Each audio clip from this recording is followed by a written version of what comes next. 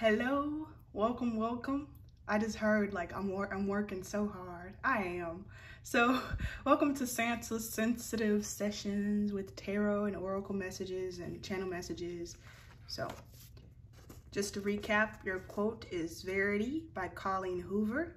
I think the idea of me is better than the reality of me. When I read this, I feel this kind of upchuck of pain. Um, I'm picking up Megan Thee Stallion. She always comes across, at least for me, as very, very comfortable and confident and just easygoing and energetic. But she actually carries a lot of sadness because a lot of the people that she loved the most in her life died.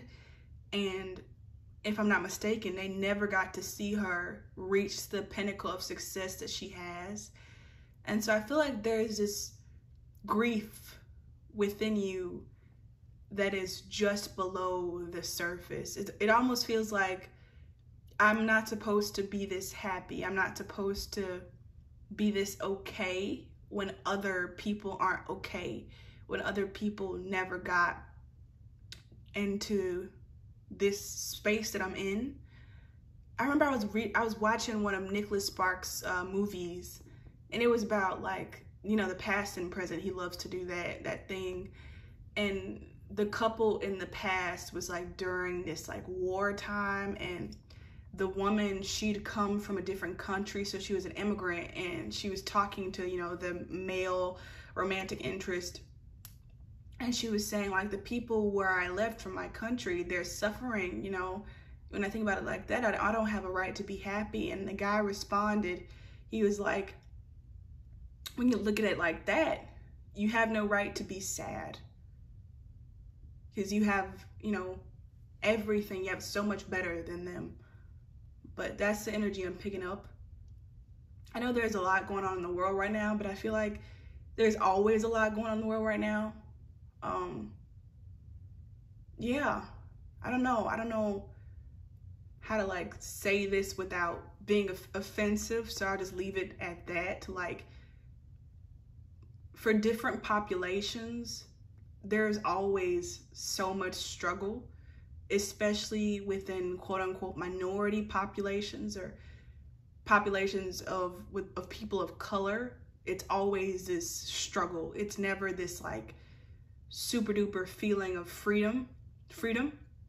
And it's like if you look at the news, it's like now this thing, now there's a lot going on in the world, but when you're, you know, coming from a perspective of hell and struggle, it's like that's always my reality.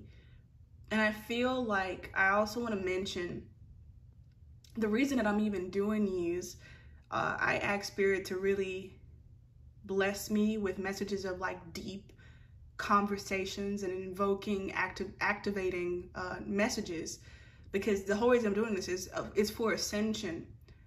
I get frustrated sometimes with myself and with other people because I want my life to change, right? I want my biggest dreams to come true.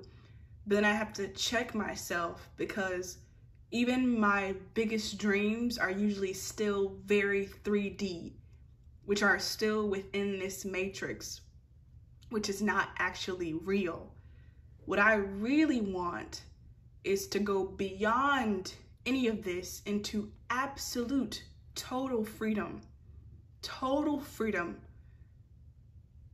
And I feel like we've all been taught this, so it's, you know, no, no judgment to anybody, especially myself, but it's like to want this sort of dream of like, I get this dream house and I I don't have to worry about money anymore. I don't have to worry about food anymore. And I have access to great health insurance. And I also get angry because I'm like, that's not enough. Because even in that space, like, you don't have full access to your true self, which is eternal, which is ancient, which is forever, where you can heal yourself, where you can manifest anything.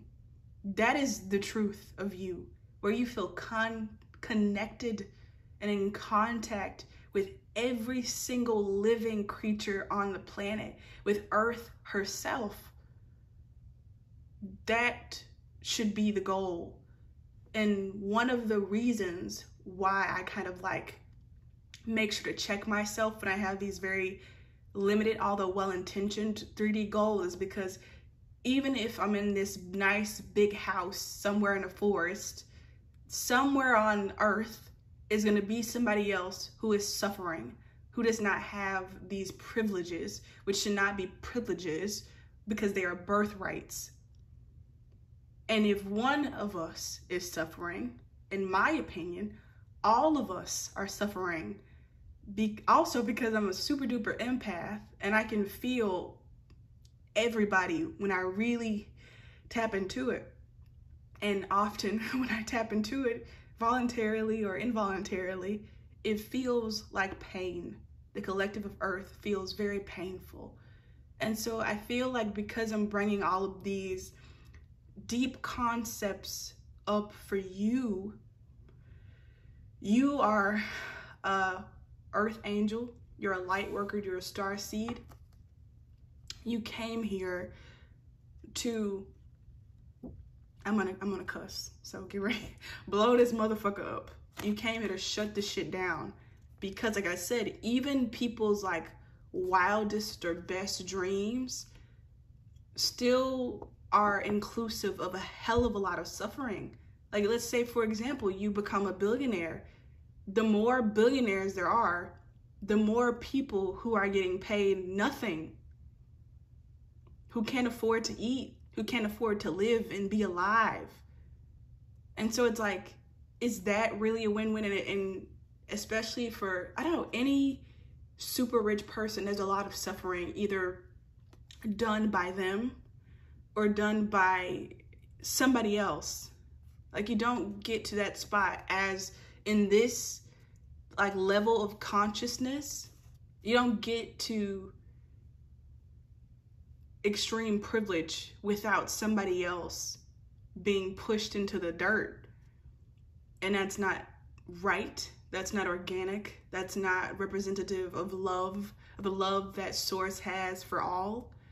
Um, and you, my sweet, are a part of igniting that truth, that organic nature again just gonna sit your angel numbers here. I'm being called to flip. There you go. Excuse me, somebody's phone number might be here. This, this is what I got. So your Oracle card again is Season Mintaka. And now it makes sense. I'm not surprised because Mintaka is a star seed planet. So you might be from there. If I'm not mistaken, it was in or is in the uh, Orion's belt uh, or no, Orion star system. I don't know, whatever, those words. Mintaka. These very like uh, mermaidy fish people is where you're from. And so I feel like some of your gifts is to is clair clairvoyance um maybe able to like see people's auras read people really easily tap into people's emotions really easily so clairsentience uh, and claircognizance, probably just all the clairs, because I feel like just to go based off of this water, if you're a creature that lives in water, water is very collective. It's very united. And so like when one splash happens a hundred miles away, like that it ripples out, has a ripple effect. So everybody can feel everybody else. Everybody is connected to everybody else, and you can feel things really easily. And so I feel like that's um, those are some gifts that you've brought here to Earth with you. This is a Starseed Oracle deck by Rebecca Campbell. I don't know if I already said that. This is a uh, Legendary Ladies deck by uh, Ann Shen, S-H-E-N. I feel like this one. Well, take two or three.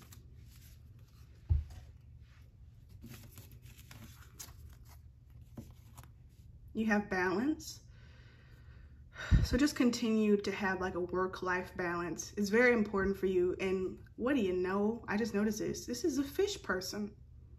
So you're definitely some sort of mermaid, mer, mer person. Oh, look at that. A boat, water, enlightenment. So I feel like I'm hearing like go to water or seek water out to have enlightenment. Like if you get stressed really easily or you've been very tense recently, try to find some sort of body of water, even if it's a small puddle on the road. I don't know. like any body of water, if you have some sort of man-made lake or pond near you, the ocean, and if you don't have any of those things, you can just do run a bath in a bathtub if you have one of those.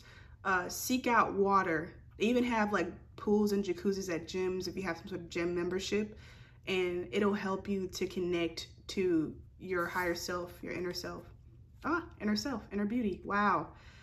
Yeah, you have a lot of peace just within you. Like you don't really need um, a lot of outside things to know 1111 on the time, to know the truth. And so for you, it's just about like eliminating distractions in order to tap into that truth. So this has been your reading. You're not an imposter. You're very strong. You're very beautiful. Um, please leave a comment if this resonated. And if you would like to support me, you can um, check out the description for different ways to do that. And I will see you soon. Thank you so much.